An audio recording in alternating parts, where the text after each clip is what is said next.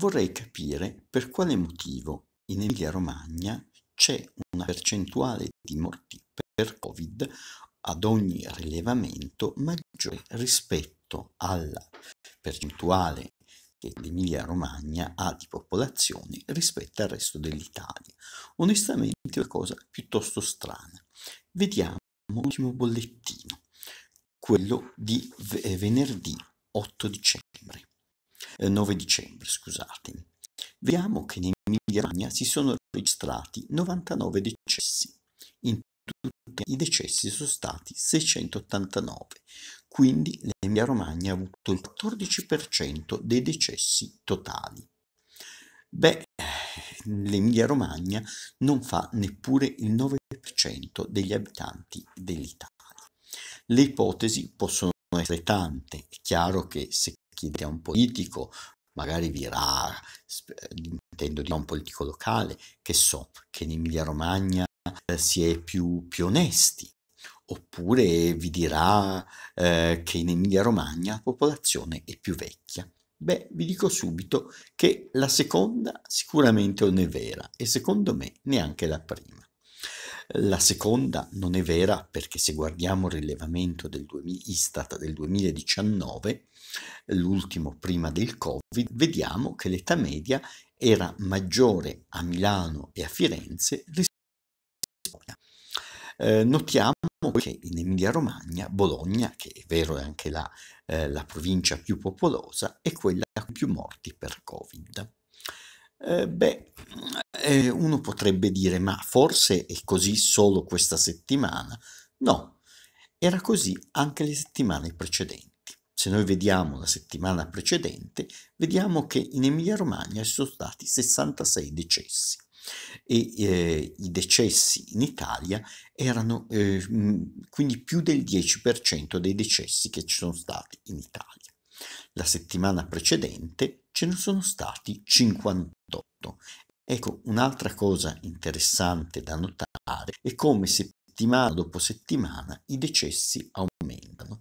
58, poi 66, quindi un aumento del 10%, poi 74, scusate, a settimana prima dei 99 74 decessi, poi 74, quindi un aumento eh, del 15% e da 74 a 99, un aumento eh, veramente consistente. Eh, ecco cosa dire. Io un motivo me lo sono figurato e sapete qual è? Se voi andate a Bologna troverete in molti posti, soprattutto nel centro storico, eh, odore di fame, di eh, urina soprattutto. Beh, questo odore è in parte dovuto ai drogati che sotto l'effetto di alcune sostanze non riescono a trattenere la pipì. Ma non solo a questo. Se voi guardate bene i pluviali, cioè i tubi che portano giù l'acqua dai tetti, noterete che anche se questa pratica è vietata già in tutta Italia dal 1896, molti cosa hanno fatto? Fare le mansarde all'ultimo piano dai sottotetti hanno incanalato nei pluviali i liquami. Succede che questi pluviali hanno, sono metallici, quindi si rodono e eh, a un certo punto iniziano a perdere. Ovviamente perdono soprattutto quando vengono tappati. Eh, io personalmente una volta ho assistito e ho fatto anche le foto e se, se volete le, le, posso caricare, a un'invasione di merda, e sto dicendo proprio merda, di una strada del centro storico di Bologna. Ma eh, questo ovviamente è un caso eclatante. Di solito escono piccole, piccole quantità di liquami, maggiori ovviamente quando si tappa. È ovvio che chi ha la mansarda ha tutto l'interesse a stappare il prima possibile. Eh, ecco, tra l'altro a Bologna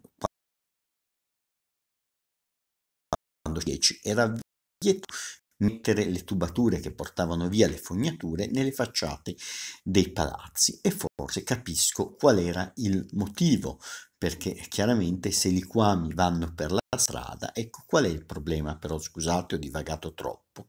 Il problema è che le persone pestano questo bagnato non rendendosi conto spesso, che sono liquami.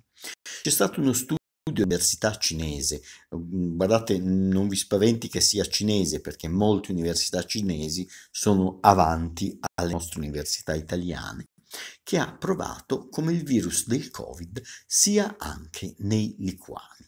Pertanto la persona pesta, il liquami, dopo magari si tocca le scarpe per allacciarsi o per slacciarsi le scarpe e uh, magari poi tocca anche la, la propria bocca. Oppure andrà a contaminare tantissimi pavimenti con questi liquami. Questa è la mia ipotesi, forse sbagliata, probabilmente sbagliata, però non so se no, se no cosa pensare. Perché la percentuale di morti in Emilia-Romagna, dove si dice che la sanità, almeno così ci raccontano i nostri politici, è migliore che in tutte le altre regioni d'Italia, sono più che nelle altre regioni? Che siamo davvero più onesti degli altri? Non lo so. Se vi piacciono queste notiziole, ragazzi, mettete un bel like e magari iscrivetevi. Alla prossima, ciao!